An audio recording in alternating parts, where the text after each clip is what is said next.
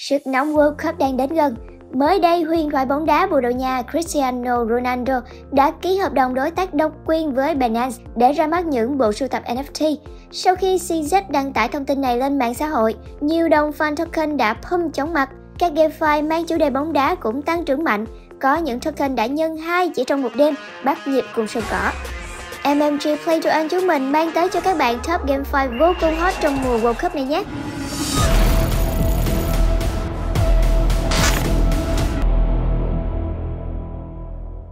Trước khi vào top 3 game được quan tâm nhất World Cup, chúng mình đã phân tích từ game Meta Football được phát triển bởi công ty Metaverse World.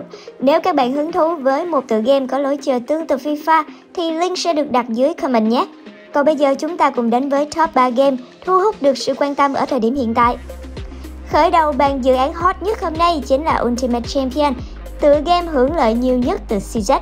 Ultimate Champion là trò chơi thuộc thể loại quản lý đội bóng, được phát triển bởi những cá nhân có nhiều năm kinh nghiệm làm game tại Ubisoft.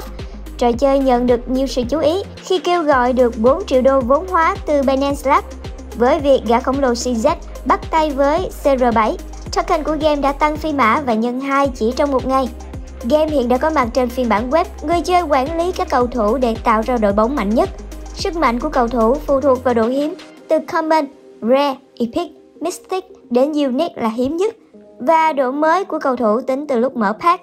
Người chơi sẽ có thể kiếm lợi từ game thông qua hai token chính của game là MGC token trả thưởng và Champ token quản trị của trò chơi.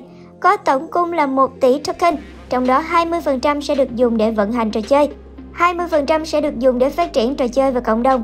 Đặc biệt, lượng token của đội ngũ phát triển là 15% sẽ bị khóa và trả dần trong một khoảng thời gian là 5 năm rưỡi. Game hiện đang có mặt trên phiên bản web PC và không cần vốn để chơi. Các bạn có cảm nghĩ gì về Ultimate Champion? Hãy cho chúng mình biết nhé! Futium là một trò chơi quản lý đội bóng. Bạn sẽ sở hữu, quản lý câu lạc bộ của mình, có thể huấn luyện và chuyển nhượng các cầu thủ để kiếm lời trên thị trường. Hiện, trò chơi có mặt trên phiên bản web.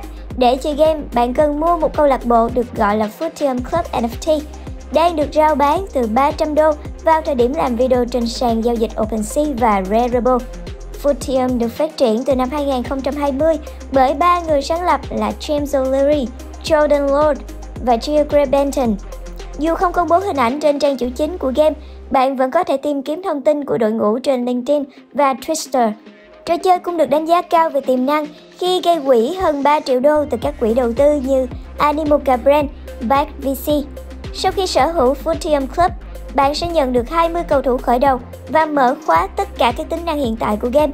Như một sân vận động để điều hành đội bóng, đây là sân nhà của bạn và có thể được nâng cấp để tăng tỷ lệ thắng cho câu lạc bộ khi chơi trên sân nhà. Học viện bóng đá là nơi cho ra lò lớp cầu thủ mới cho bạn.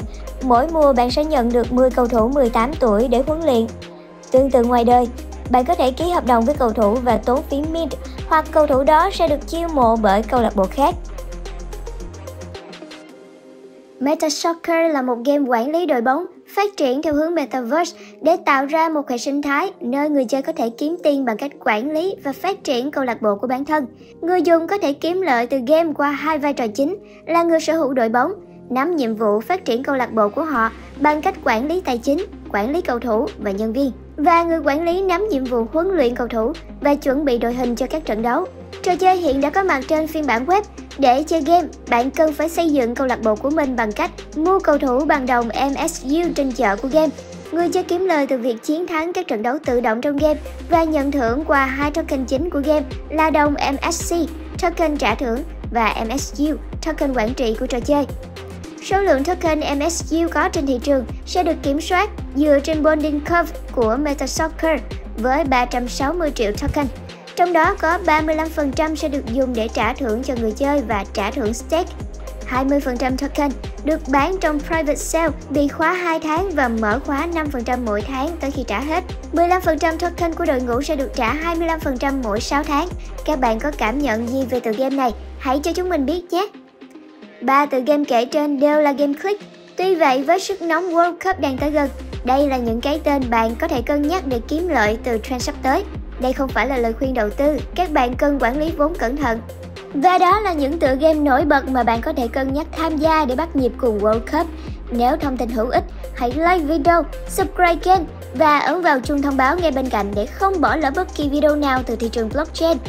MMG Play to Earn, hẹn gặp lại các bạn trong những video tiếp theo.